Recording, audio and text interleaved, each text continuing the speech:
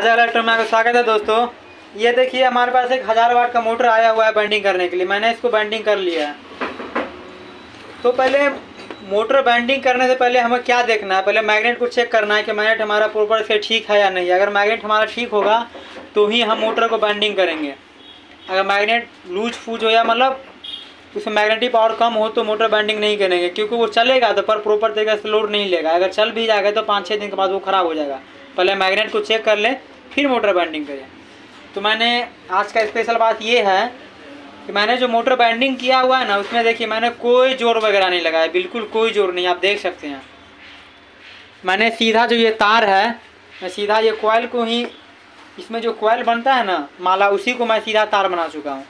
इसमें ज़ोर वगैरह कुछ भी नहीं लगा स्लिप लगा मैंने इसको जोड़ दिया। कुछ नहीं, आविष्कार किया हूँ मैं। तो आपको अगर हमारा वीडियो पसंद आता है तो हमारे चैनल को सब्सक्राइब करिए और वीडियो को लाइक कर दीजिए, ताकि आने वाला अगला वीडियो का नोटिफिकेशन आपको मिलते रहे। आज के लिए इतना ही, और मिलते हैं अगले वीडियो में। एक बात और, अगर आप भाइयों को अगर ये ई रिक्शा का कोई भी स्पेयर पार्ट चाहिए तो आप हमसे संपर्क करिए। हमारा मोबाइल नंबर है nine one six two nine five nine nine seven nine. मैं फिर से मोबाइल नंबर बोलता हूँ, nine one six two nine five nine nine seven nine.